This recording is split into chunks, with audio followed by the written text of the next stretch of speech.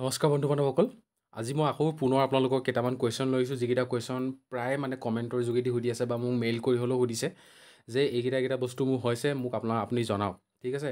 মই সেইটো কাৰণে যিমান আছে গোটেইখিনিকৈ ৰিপ্লাই দিব নোৱাৰোঁ গতিকে আপোনালোকক ভিডিঅ' যোগেদি জনাই দিছোঁ।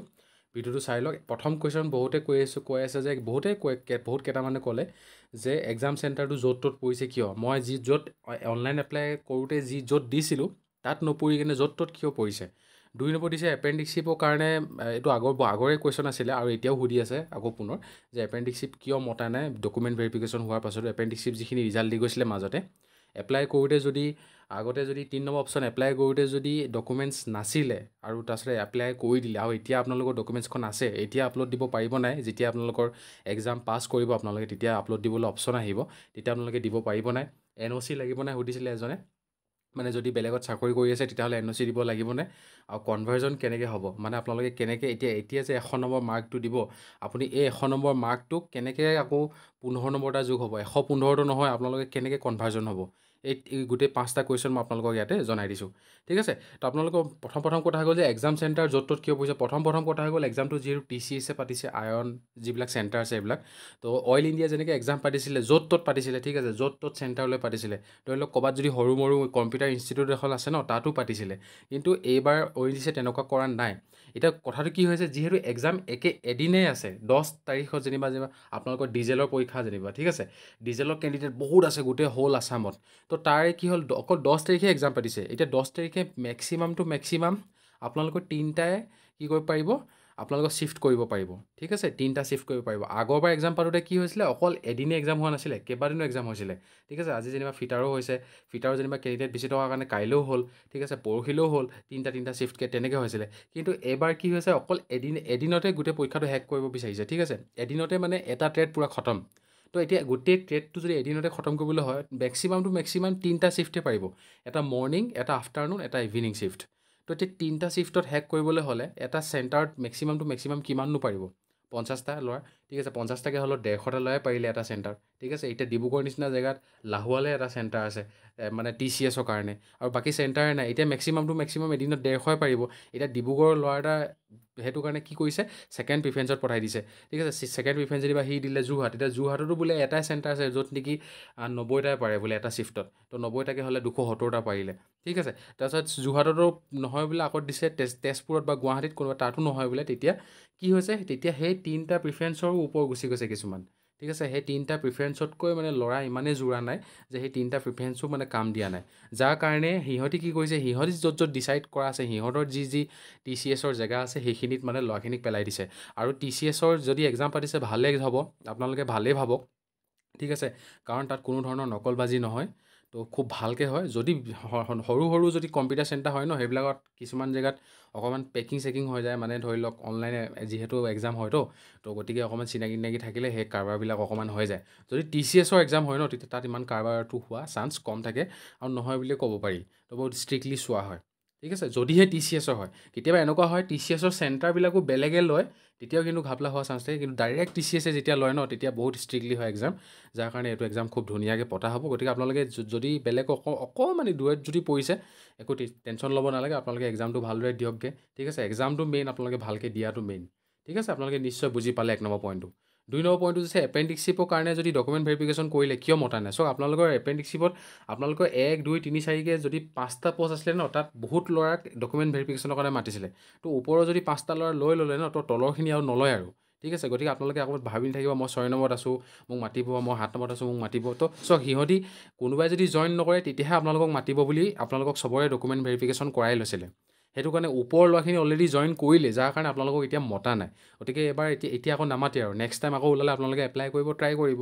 ঠিক আছে? আপোনালোকে নিশ্চয় বুজি পালে ছেকেণ্ড পইণ্টটো থাৰ্ড পইণ্টটো দিছে যে বহুতে এপ্লাই যদি আমি কৰি কৰোঁতে যদি নাছিলে মোৰ লগত ডকুমেণ্টছ ধৰি লওক ছুপাৰভাইজাৰ লাইচেঞ্চ নাছিলে ডমাইচেল চাৰ্টিফিকেটখন যেনিবা নাছিলে ই ডাব্লিউ চাৰ্টিফিকেটখন যেনিবা নাছিলে কিন্তু য়েছ বুলি দি দিলে এতিয়া নাছিলে এতিয়া আপোনালোকৰ ওচৰত আহি গ'ল আপলোড কৰিব পাৰিব নাই। চাওক আপোনালোকৰ এপ্লাই কৰা লাষ্ট ডেট আছিলে আঠাইছ তাৰিখ পাঁচ মাহ দুহেজাৰ বাইছ চন তাৰ আগে আগে ডকুমেণ্টছখিনি হ'ব লাগিব। ঠিক আছে?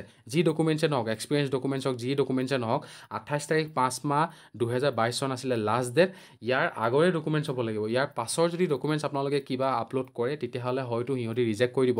মই এইটোতো মানে থিৰাং বুলিয়ে ক'ব লাগিব যে এইটো ৰিজেক্ট ৰিজেক্ট কৰি দিব বুলি মই খুব মানে এইটো মই এপ্লিকেশ্যনখন পঢ়ি গম পালোঁ। আপোনালোকে নিশ্চয় আকৌ এপ্লিকেশ্যনখন পঢ়িব পাৰে। তাত লিখা আছে যে crucial cut cut off date বুলি। তো ক্ৰুচিয়েল কাট অফ ডেট মানে হৈছে আঠাইছ তাৰিখ পাঁচ মাহ দুহেজাৰ বাইছ চন। ঠিক আছে? যিকোনো ডকুমেণ্টছৰ কাৰণে। গতিকে তেতিয়া যদি আপোনালোকৰ ওচৰত নাছিলে এতিয়া যদি আহি গ'ল আৰু এতিয়া যদি আপোনালোকে আপলোড দিম বুলি ভাবিছে এক্সামটো পাছ কৰাৰ পিছত তেতিয়াহ'লে হয়তো সেইটো নহ'ব।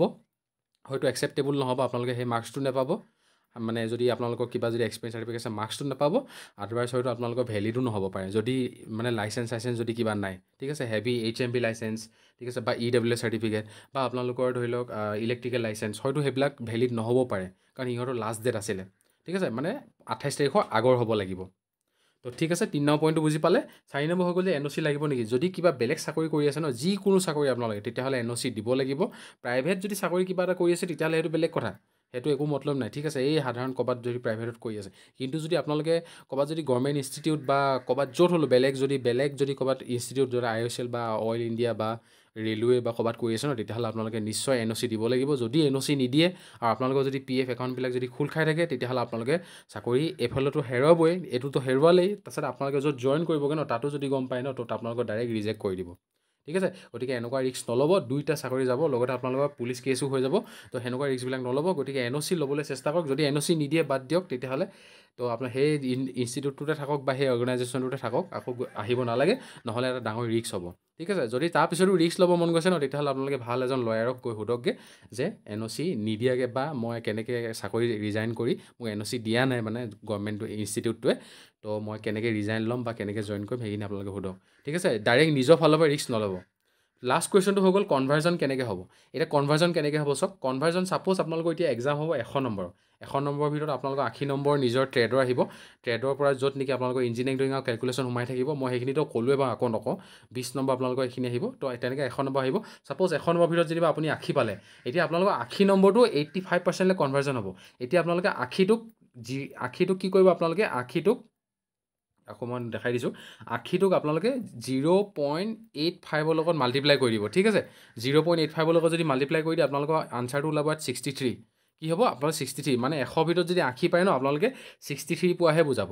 এতিয়া ইয়াৰ লগত প্লাছ হ'ব আপোনালোকৰ যি আপোনালোকৰ ধৰি লওক আই টি আইত যদি ছিক্সটি পাৰ্চেণ্ট ওপৰ আছে তেতিয়াহ'লে দহ মাৰ্ক এটা পাব।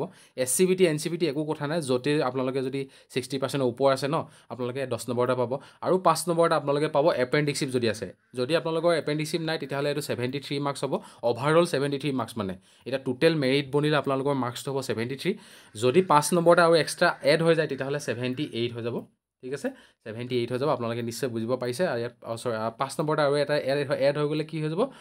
পোন্ধৰ নম্বৰ হৈ যাব। পোন্ধৰ হৈ গ'লে এইফালে আপোনালোকৰ seventy three plus seven five seventy eight marks আপোনালোকৰ টোটেল হ'ব। মানে ঠিক আছে আপোনালোকে নিশ্চয় বুজি পালে। তো এইটোৱে আছিলে আপোনালোকৰ কনভাৰ্জন মোৰ হয়তো এই কনভাৰ্জনটো অকণমান খেলি মেলি নিচিনা লাগিছে বাৰু। আপোনালোকে এবাৰ নিজে মাল্টিপ্লাই কৰি চাবচোন এইট এইটটিৰ লগত জিৰ' পইণ্ট এইট ফাইভ ঠিক আছে? জিৰ' পইণ্ট এইট ফাইভ কিয় কৰিছোঁ? কাৰণ eighty five divided by hundred কৰিলে মানে জিৰ' পইণ্ট এইট ফাইভ হয়। তো সেই তেনেকৈ আপোনালোকে কনভাৰ্জন কৰিব লাগিব। যি মাৰ্কছে নাপাওক তাক এইট জিৰ' পইণ্ট এইট ফাইভৰ লগত মাল্টিপ্লাই কৰি আপোনালোকে যদি ছিক্সটি পাৰ্চেণ্ট ওপৰ আছে দহ দিব এপেণ্ডিক্সিপ আছে যদি পাঁচ দিব এপেণ্ডিক্সিপ যদি নাই তেতিয়াহ'লে খালী কৰি যাক প্লাছ কৰি দিব এপেণ্ডিক্সিপ থাকিলে পোন্ধৰ প্লাছ কৰি দিব সেইটোৰ লগত। তো নিশ্চয় বুজি পালে চাগে আপোনালোকে এই পাঁচটা কুৱেশ্যন আছিলে আৰু যদি কমেণ্ট বেছি আহি থাকে ভৰপূৰ পৰিমাণৰ তেতিয়াহ'লে মই আকৌ নেক্সট আকৌ ফেক এটা বনাই দিম মানে যিটো ফ্ৰিকুৱেণ্ট আক্স কুৱেশ্যন বুলি কয় তো সেইখিনিৰ ওপৰত বুজাই দিম তো আজি নিশ্চয় বুজি পালে চাগে আজিলৈ ইমানেই ধন্যবাদ।